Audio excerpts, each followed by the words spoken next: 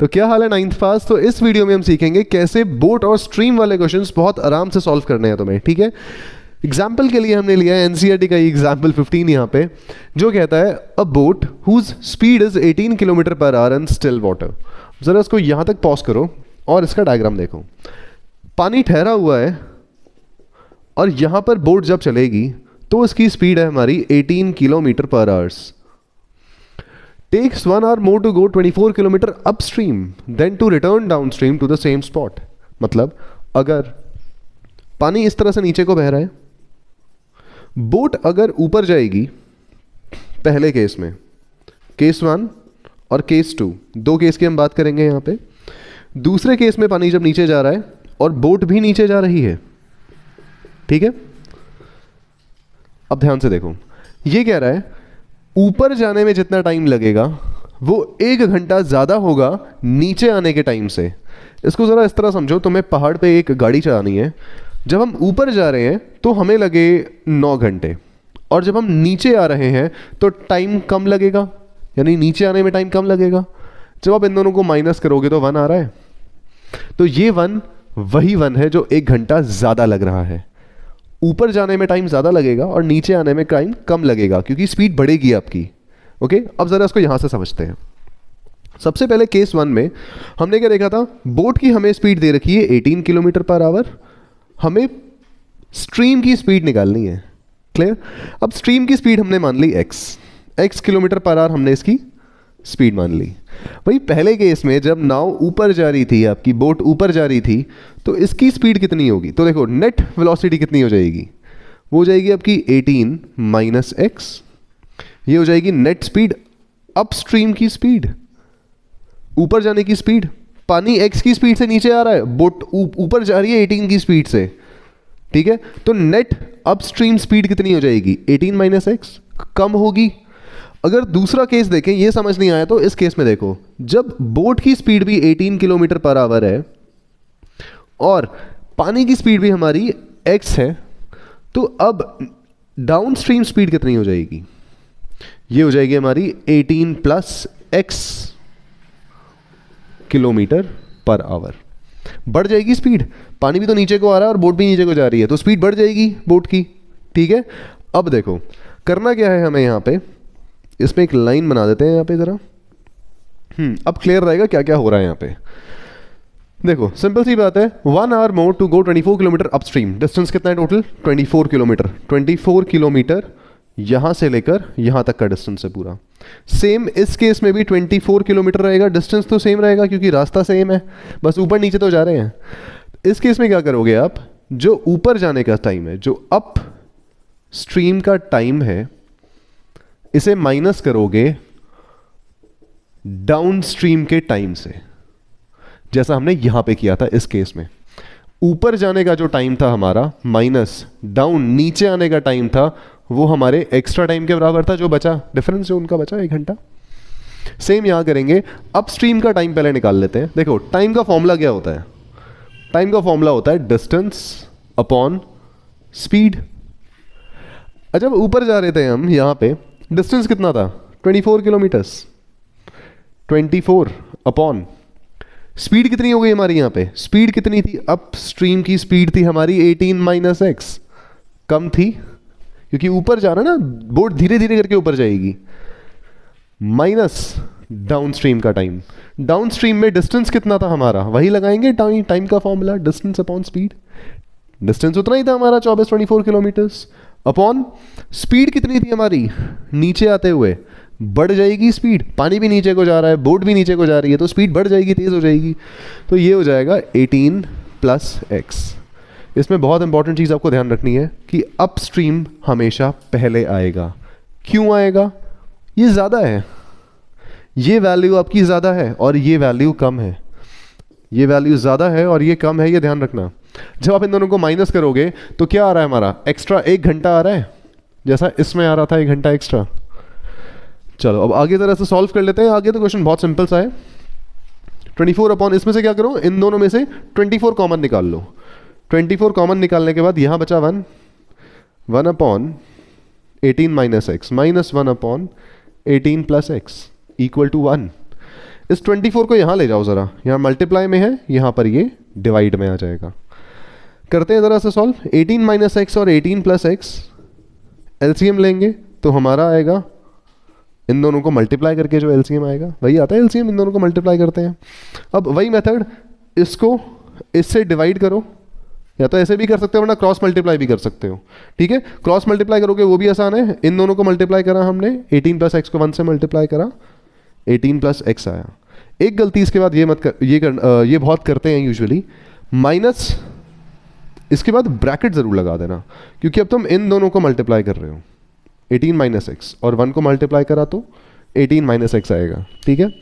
ये जो माइनस है, ये ध्यान रखना, ये ये वाला माइनस है। और तुम्हें माइनस के बाद ब्रैकेट ज़रूर लगाना है, क्योंकि डब्बा खुलेगा, साइन उल्टे होंगे। Then one upon twenty four चलिए, अगला स्टेप 18 प्लस एक्स, ये माइनस था, ब्रैकेट खुलेगा, ये जब ब्रैकेट खुलेगा तो minus plus, minus eighteen, minus minus plus X upon 18 into eighteen, ये आ गया आपका 324 अब 18 को x से मल्टीप्लाई करेंगे प्लस 18x माइनस एक्स और 18 मल्टीप्लाई करेंगे तो minus eighteen X minus plus, minus X square equal to one upon twenty four कुछ नहीं करा, पहले इसको ऐसे मल्टीप्लाई करा, फिर ऐसे इससे। फिर x को हमने 18 से, फिर x को x से। ठीक है? ऐसे ही खोलते हैं ब्रैकेट्स देन कुछ दिख रहा है, कट रहा है plus X plus eighteen X minus eighteen X कटा यहाँ से। और यहाँ से कुछ नहीं कटेगा। अगली कैलकुलेशन ज़रा इस पोर्शन में।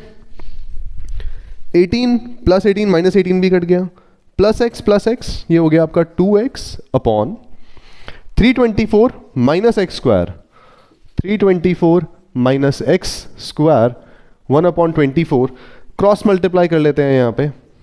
ये आ जाएगा twenty four into two forty eight X equal to इस पूरी चीज़ को जब आप वन से मल्टीप्लाई करोगे आंसर आएगा three twenty four minus X square वहाँ फेंक दो से उठा के, या फिर इनको यहाँ ले आओ, ये हो जाएगा आपका माइनस एक्स इधर आके plus X square plus forty eight X minus three twenty four equal to zero ये आ गई हमारी क्वाड्रेटिक इक्वेशन ठीक है? तो ये बनी हमारी यहाँ पे क्वाड्रेटिक इक्वेशन सॉल्व कर लेते हैं आगे. सॉल्व करते तरह से क्वाड्रेटिक फॉर्मूले से. क्वाड्रेटिक फॉर्मूला कैसे यूज़ करते हैं इसके लिए बिल्कुल अलग वीडियो बना रखी है. लिंक नीचे दे रखा है मैंने उसका. चेक कर लेना आराम से. X square plus forty eight X minus three twenty four equal to zero यहाँ पर क्वाड्रेटिक फॉर्मूला यानी एक्स की वैल्यू निकालने के लिए हमारा जो फॉर्मूला है वो है minus B plus minus under root D upon two A ठीक है? अब यहाँ से डी की वैल्यू पहले निकाल लेंगे हम. डी इक्वल टू होता है हमारा B square minus four A C. बेटा बी स्क्वायर यहाँ पर बी क्या है? फोर्टी एट यानी 48 का square minus four into A तो हमारा वन ही हो गया, यानी इसके साथ जो कॉफिशेंट होता है उसे ए कहते हैं। और सी सी बचा हमारा यहाँ पे माइनस थ्री ट्वेंटी फोर चलिए 48 का square two three zero four minus four four सा sixteen one six four two सा एट नाइन फोर थ्री सा ट्वेल्व अच्छा माइनस माइनस ये क्या हो जाएगा? प्लस सिक्स फोर टेन आएगा, यानी वन ज़ीरो ज़ीरो और नाइन वन वन ज़ीरो फिर से आएगा carry over three two five ये हो जाएगा. सिक्स टू वन ये हो जाएगा आपका थर्टी सिक्स हंड्रेड दिख रहा है हमारा डी पॉजिटिव आ रहा है, अब आगे सॉल्व करो. क्योंकि डी पॉजिटिव आ रहा है, ज़रा इसको यहाँ पुट कर लेते हैं. एक्स की दो वैल्यूज़ आएँगी. एक आएगी माइनस बी माइनस बी मतलब minus forty eight plus minus root अच्छा थर्टी सिक्स हंड्रेड का स्क्वायर रूट क्या होगा? सिक्सटी होगा. सिक्स सिक्स या थर्टी सिक्स होता है? देखो थर्टी सिक्स हंड्रेड है ना, ये सिक्स का स्क्वायर रूट क्या होता है? सिक्स होता है। तो ये आ जाएगा आपका ज़ीरो का एक ज़ीरो नीचे उतारो सिक्सटी हो जाएगा। ठीक है? अपॉन टू ए ए तो वन है हमारा अपॉन टू ही हो गया। Then minus forty eight plus root D plus पहले एक बार प्लस लेंगे, फिर माइनस लेंगे।